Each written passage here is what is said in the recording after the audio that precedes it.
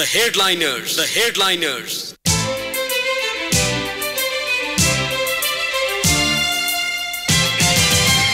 नमस्कार श्रोता रेडियो कान्तिपुरको प्रभातकालीन नियमित कार्यक्रम द हेडलाइनर्समा यहाँलाई स्वागत छ। आजको कार्यक्रम लिएर म प्रकाश पाठक उपस्थित भएको छु। जनचासोका विषयमा अतिथिसँग विचार विमर्श गरिने यो कार्यक्रम शनिबार बाहेक साताको छ दिन यसै समयमा प्रसारण हुँदै आएको छ।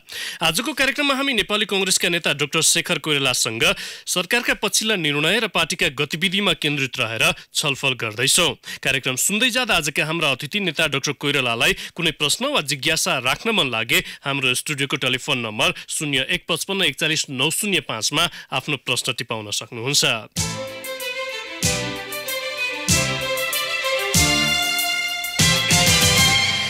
सरकारले गरेका पछिल्ला दुई निर्णयका कारण मुलुकको राजनैतिलाई थप तताएको छ। सिके राउतसँगको एघार बुँदे सम्झौता लगत्तै सरकारले नेत्रविक्रम चन्द माथिको नेकपालाई प्रतिबन्ध लगाउने निर्णय गरेको छ। सरकार स्वयं सरकारकै नेतृत्वकर्ता दलभित्र पनि असमझदारी देखिएको पछिल्लो निर्णयबाट जनताको स्तरमा पनि निकै संशय पैदा भएको छ। मुलुक विखण्डनको अभियानमा रहेको राउत समूहलाई मूलधारको नेतृत्वमा ल्याउन पछिल्लो सम्झौता गरेको दावी गर्दै आतंककारी गतिविधि निस्तेज पार्न चन्द नेतृत्वको नेकपालाई प्रतिबन्ध लगाएको बताइरहँदा मुलुकमा अर्को द्वन्द्व चर्कने सम्भावना जनताले देख्न थालेका छन्। अझ भनौँ सरकारी निर्णयका कारण मुलुक फेरि पुरानै अवस्थामा फर्कने पो हो कि भन्ने आशंका पनि उत्तिकै देखिन थालेको छ। यसबीचमा राष्ट्रिय प्रजातन्त्र पार्टी राप्रपाले हिन्दू राष्ट्र पुनर्स्थापनाको माग गर्दै मेची महाकाली अभियान पनि गरिरहेको छ जसको अन्तिम सभा आज राजधानीमा हुँदैछ। आफ्नो एजेन्डामा जनमत सृजना गर्दै गएको राप्रपाको अभियानले पनि मुलुकको राजनीतिमा एउटा सन्देश दिएको छ। आजको कार्यक्रममा हामी यिनै र नेपाली कङ्ग्रेसको पछिल्ला गतिविधि र धारणाका विषयमा नेपाली कङ्ग्रेसका नेता डाक्टर शेखर कोइरालासँग छलफल गर्दैछौँ। कुराकानीका लागि नेता कोइराला यति बेला हाम्रो टेलिफोन सम्पर्कमा हुनुहुन्छ। डाक्टर साहब नमस्कार स्वागत छ कार्यक्रममा। हस् त धन्यवाद। रेशम चौधरीका सम्बन्धमा अदालतको निर्णयपछि नेपालको राजनीतिमा नाटकीय रूपमा निर्णयहरू आइरहेका छन्। यसलाई तपाईँ चाहिँ कसरी विश्लेषण गर्नुहुन्छ? यो नेपालमा के हुँदो रहेछ भने फागुन चैत वैशाख। यो तिन महिना चाहिँ नि यस्तै नाटकहरू सरकारले गर्दो रहेछ। र रेशम चौधरीको इस्युदेखि अहिले सिके राउतको विखण्डनकारी जुन उहाँको गतिविधि र सम्झौता भयो त्यसमा पनि केही संशयहरू छन्। र सँगसँगै अहिले सरकारले प्रतिबन्ध लगाएको छ यो विप्लव समूहलाई माओवादीको विप्लव समूहलाई। आतङ्ककारी बिल्ला पनि दिइरहेको छ र प्रतिबन्ध पनि लगाएको छ। त्यो बडा विचित्र ढङ्गले गइरहेको छ देश। अप्ठ्यारो परिस्थितिमा छ भन्छु म। अब जसरी जनताको तहमा मुख्य गरी राउतसँगको सम्झौता र चन्द नेतृत्वको नेकपा माथिको प्रतिबन्धले जुन आशंका व्यक्त भइरहेको छ त्यसको व्यवस्थापन गर्न चाहिँ सक्षम रहन्छ यो सरकार अथवा त्यसलाई चाहिँ एउटा व्यवस्थापन गर्न सक्ने क्षमता राखेको छ यस सरकारले? विप्लव समूहको भन्नुभएको? जस्तो विप्लव समूहको नेकपा माथिको प्रतिबन्धसँगै राउतसँग सम्झौता गरेको छ त्यस पछाडि सिके राउतको कुरा गरौँ। सिके राउत देशलाई विखण्डन गर्नुपर्छ मधेस देश बनाउनुपर्छ भनेर उहाँले छुट्टै तपाईँको पार्टीको झन्डा माने पार्टीको नभनौँ भने देशको झन्डा नेसनल एन्थम यो सबै बनाएर अगाडि जानुपर्छ। एकातिर त्यो छ।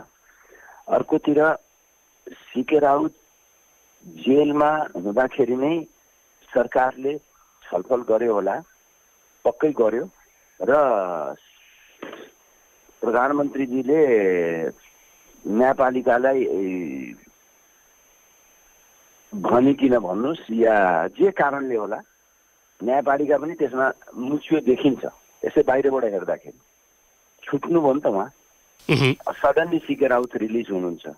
र त्यसको भोलिपल्ट एघार बुधे सम्झौता हुन्छ। र त्यो सम्झौतामा नेपाल र तपाईँको नेपाल सरकार र तपाईँको स्वतन्त्र मधेस गठबन्धनको बिचमा सम्झौता हुन्छ। र त्यो सम्झौतामा त्यो जन्म अभिमत भनेको जन्म सङ्ग्रही हो त्यसमा मलाई त कुनै त्यो म भाषाविद पनि होइन। तर जन्म सङ्ग्रही गर्ने भन्ने कुरा लोकतान्त्रिक विधिबाट जन्म जनअभिमत गर्ने भनेर भनिसकेपछि र त्यसपछिको सिके राउतको एक्टिभिटिज जनकपुरमा जानुभयो होइन? जनकपुरमा जाँदाखेरि उहाँको प्ले कार्ड सेयरमा जुन थियो मधेस इज ए सेपरेट कन् माने न्यू कन्ट्री इन एसिया भन्ने एउटा कुरा र सिके राउतको स्वतन्त्र मधेस गठबन्धन त्यो चाहिँ युएनपिए भन्ने एउटा संस्था छ इन्टरनेसनल संस्था छ जसको हेड अफिस बेल्जियमको ब्रुसेल्समा छ। त्यसको सदस्यता लिएको पार्टी भन्नु स्वतन्त्र मधेस गठबन्धन हो। त्यो संस्थाको काम चाहिँ के भने जुन जुन देशमा अलग छुट्याउनु पर्ने नाराहरू चर्ले लेखा हुन्छ। जस्तो नेपालमा तपाईँको सिके राउतले गर्नुभएको छ क्याटोलिना भयो अन्य देशहरूमा पनि छ इन्डोनेसियामा छ अरू देशहरूमा पनि छ। ती देशहरू सदस्य बन्न सक्छन्। आजसम्म आजको दिनसम्म पनि सिके राउतले त्यो युएनपिएको सदस्यता छोड्नु भएको छैन। र त्यसले के देखाउँछ भने अब के गर्ने त भन्ने कुरा हामीहरूले सोच्नुपर्ने हुन्छ। डाक्टर साहब जस्तो सरकारले जुन किसिमले एउटा सम्झौता गर्यो त्यो सम्झौता पछाडि विभिन्न कोणबाट विभिन्न विश्लेषणहरू आइरहेका छन् यसलाई आफ्नो दम्बको प्रतिफल भनेर पनि विश्लेषण गर्नेहरू छन् सरकारले सम्झौताको आफ्नो हिसाबले बचाव गरिरहेको छ। यावत विषय जानकारी हुँदाहुँदै नेपाली कङ्ग्रेसले चाहिँ प्रतिपक्षको भूमिका यसमा पनि निर्वाह किन गर्न नसकेको चुकेको हो कङ्ग्रेस यहाँ पनि? अब हेर्नुहोस् होइन यसलाई मैले कसरी हेर्छु भने यो घटना घट्ने बित्तिकै सभापतिजी र प्रवक्ताजीले स्वागत गर्नुभयो होइन। त्यही त्यही कुरा उठाउनु भएको होला तपाईँ। तर त्यसपछिका दिनहरूमा सभापतिजीले त्यसलाई करेक्सन गर्नुभएको छ। करेक्सन गर् भन्छु म। करेक्सन गर्नुभएको छ। त्यो राम्रो कुरा हो। तर के छ भने सरकारले जसरी दिइराखेको छ सरकारका प्रवक्ताले भन्नुहोस् या सरकारका सल्लाहकार माने प्रधानमन्त्रीका सल्लाहकारहरूले जसरी यसलाई भागसोप गर्न खोज्दै हुनुहुन्छ मेरो एउटै प्रश्न छ। युएनपिएको सदस्यता कहिले त्याग्ने हो सिके राउतजीले? नम्बर एक। नम्बर दुई तपाईँको जन्म जनअभिमत भनेको जन्म सङ्ग्रह हो कि होइन भन्ने र एउटा संशय चाहिँ के आएको छ भने इन्फर्मेसनको कुरा हो। र तपाईँको सिके राउतको दाईसित इन्टरभ्यूमा हामीले आफै पनि सुनेका छौँ त्यसमा पनि स्पष्ट रूपले उहाँले भन्नुभएको छ अहिलेलाई हामीहरूले रोक्या हो तर जन्म सङ्ग्रह सिके राउतको हो भनिकन दाईले स्पष्ट ढङ्गले भन्नुभएको छ।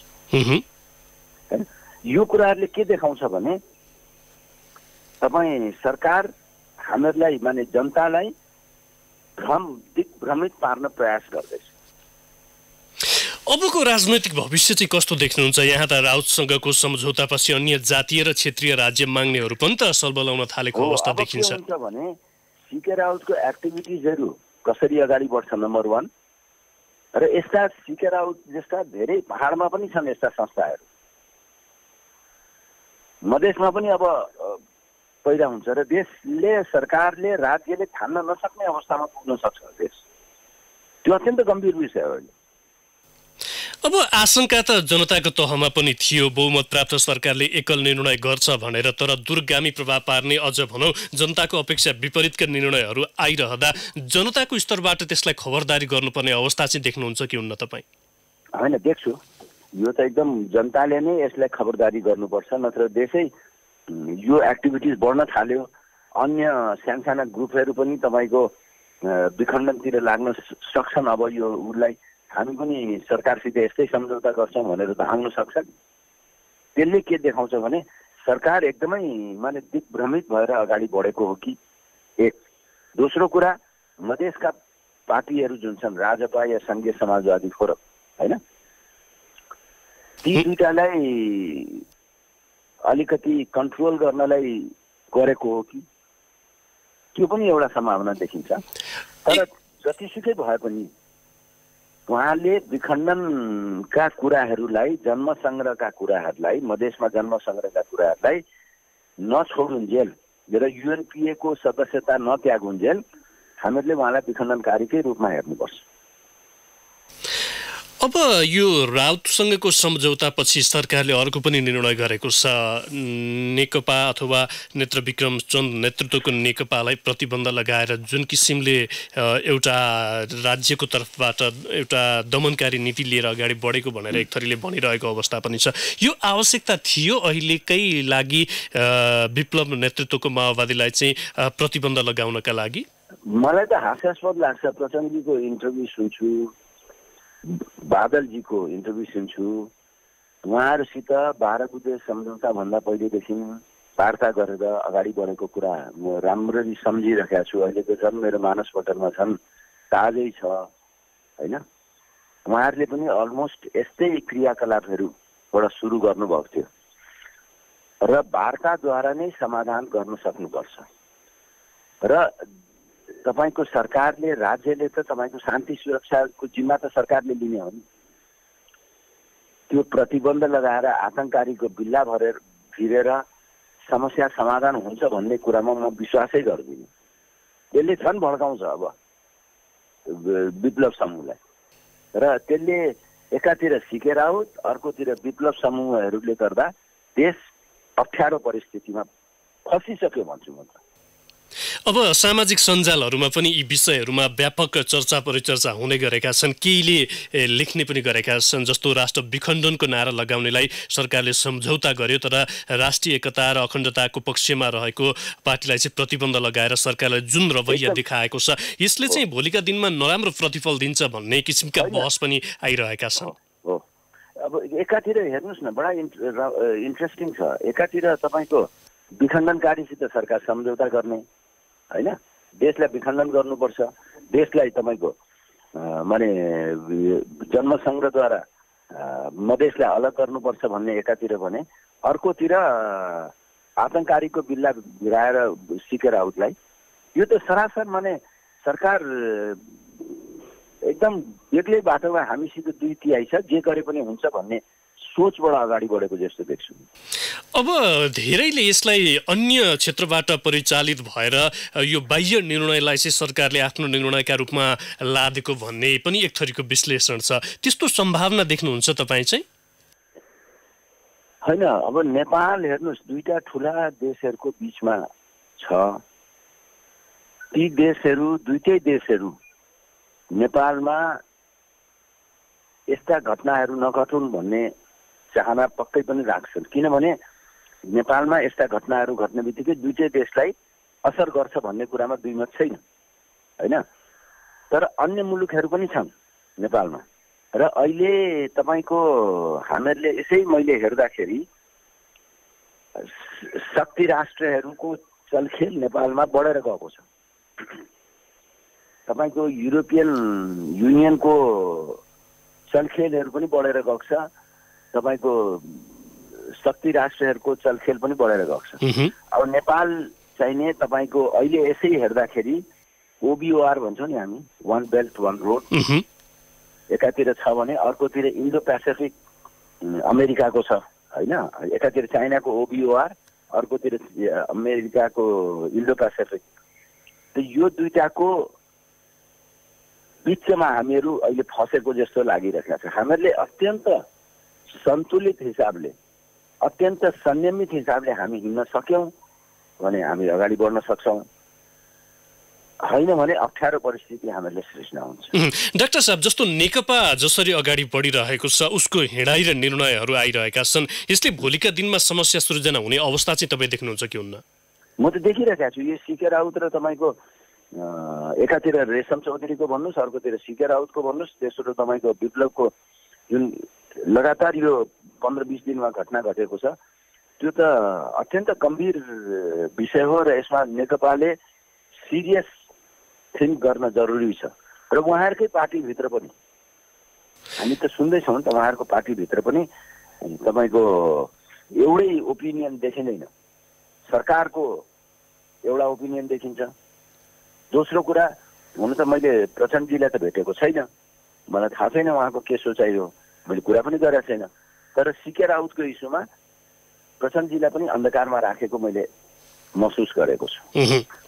अब यो बिचमा यावत विषयमा सरकारले निर्णय लिइरहँदा हिन्दू राष्ट्रको स्थापनाको एजेन्डामा राप्रपाले मुलुकभर जसरी अभियान चलाइरहेको छ आज राजधानीमा त्यसको अन्त्य पनि गर्दैछ। जुन किसिमले एउटा जनमतको सृजना गरियो मेचीदेखि महाकालीसम्म त्यसलाई चाहिँ मुलुकको राजनीतिमा कस्तो अर्थ राख्छ? होइन यो हेर्नुहोस् यो सबै कुरा के हो भने सरकार असफलतातिर गइरहेको छ अब हिन्दू राष्ट्रवाला इस्यु उहाँहरूले आफ्नो विधानमै राख्नुभएको छ कमल थापाजीहरूको होइन? र यो जनतालाई सुशिक्षित गर्ने हिसाबले अगाडि बढिरहेका छ। जन्म सङ्ग्रहमा जाने भन्ने कुरा छ। जन्म सङ्ग्रह नेपालमा जन्म सङ्ग्रह गर्ने जुन प्रावधान छ त्यसै जन्म सङ्ग्रह हुँदैन। तपाईँको दुई तिहाई बहुमत चाहिन्छ उसमा संसदमा। त्यो दुई तिहाई बहुमत पुग्यो भने न जन्म सङ्ग्रहको कुरा आउँछ। तर यो चाहिँ यस्तै घटनाहरूले नेपाललाई जहिले पनि अस्थिर बनाउने प्रयासहरू भइरहेका हुन्छ अब यो जुन किसिमले चाहिँ पछिल्ला गतिविधि भइरहेका छन् केन्द्रीय राजनीतिमा यसले त मुलुकको भविष्य पक्कै पनि राम्रो बाटोमा हिँडाएको अथवा सही दिशामा अगाडि बढाएको मान्न सकिँदैन होला। यसमा चाहिँ प्रमुख प्रतिपक्षले निर्वाह गरेको भूमिका प्रति चाहिँ तपाईँ कतिको सन्तुष्ट हुनुहुन्छ आफै? अब हेर्नुहोस् हामी म त नेपाली कङ्ग्रेसको केन्द्रीय सदस्य र नेपाली कङ्ग्रेस प्रतिपक्षकोमा छौँ हामी। तर जसरी हामीहरूले खेल्नुपर्ने भूमिका हो माने संसदमा र सडकमा हामीहरूले जति खेल्नुपर्ने हो त्यसरी हुन सकेका छैन। अब हामीहरूको केन्द्रीय समिति बस्दैछ। त्यो केन्द्रीय समितिमा हामी यो कुराहरू राख्छौँ। अब सरकारले जसरी देशै विखण्डनतिर जान्छ कि भन्ने देशैमा तपाईँको अस्थिरता आउँछ कि भन्ने चिन्ता त सबै नेपालीहरूलाई हुन्छ नि। नेपाली कङ्ग्रेसलाई मात्रै हुने कुरा भएन। हामी सबैलाई हुन्छ। त्यसकारण पनि यो अत्यन्त गहन विषय छ। हामीहरूले विस्तृत छलफल हामीहरूले गरे पनि छैनौँ नेपाली कङ्ग्रेसले यो विषयहरूमा होइन?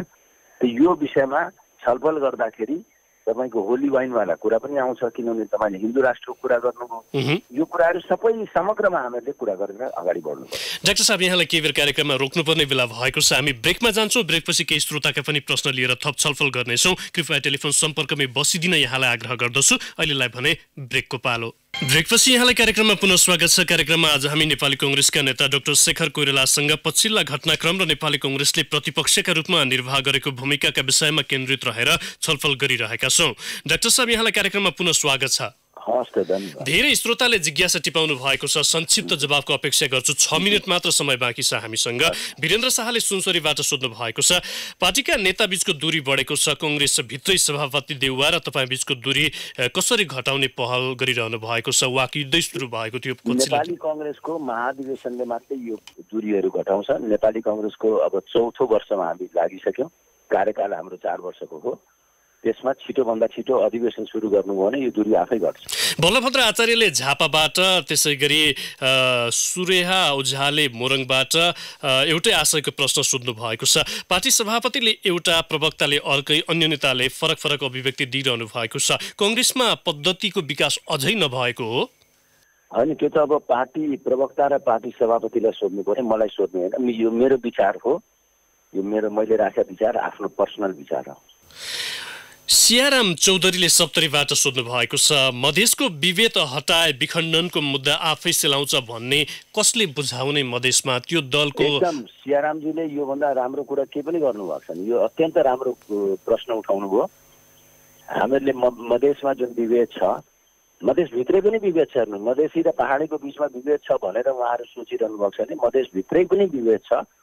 त्यो विभेदलाई हामीहरूले हटाउन सक्नुपर्छ अनि मात्रै यो आफै मुद्दाहरू चलाउँछ त्यसैको लडाइँ त हामी लड्दैछौँ। नेपाली कङ्ग्रेस त्यसैलाई त लडिरहेका काँडाघारीबाट गोपाल अधिकारीले सोध्नु भएको छ कङ्ग्रेसको इमेज सकारात्मक बनाउन सकिएन नि? यो मुख्य कारण चाहिँ के मान्नुहुन्छ यसका लागि?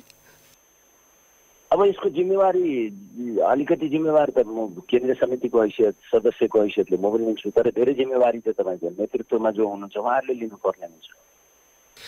यसैमा जोडेर सिएम खतिवडाले पनि सोध्नु भएको छ प्रतिपक्ष आफ्नै गुटमा व्यस्त रहँदा सत्ता पक्षको भूमिका अगाडि बढेको हो उसहरूले पेलेर जाने अवस्था आएको हो। अब फेरि द्वन्द्व निम्तने सङ्केत चाहिँ तपाईँ देख्नुहुन्छ कि हुन्न मुलुकमा? मुलुकमा द्वन्द्व निम्तिने सङ्केतहरू देखा पर्न थालेको छ त्यो चिन्ताको विषय हो।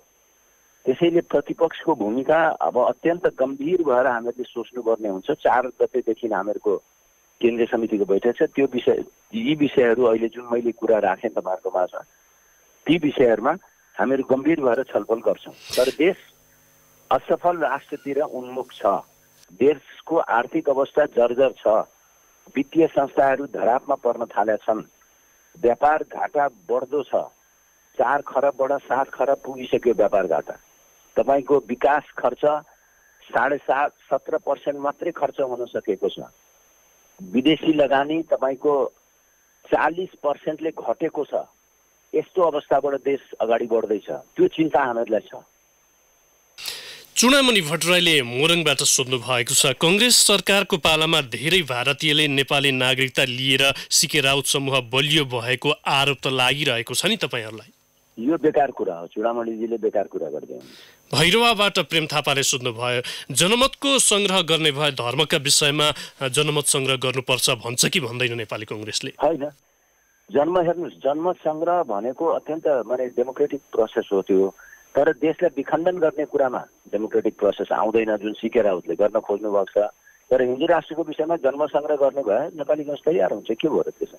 तर दुई तिहाई बहुमत चाहिन्छ संसदको। त्यो कुरालाई हामीहरूले मध्यनजर गरेर जनसङ्ग्रहमा जान सकिन्छ। नेपाली त्यसमा विरोध किन गर्ने? दुई तिहाईले पास गर्छ भने ठिक छ। तर सिके राउतले मधेसलाई अलग गर्ने अर्कै प्रदेश बना अर्कै देश बनाउँछु भनेर उहाँले जुन ना छेड्नु भएको छ त्यसमा जन्म सङ्ग्रह हुन सक्दैन।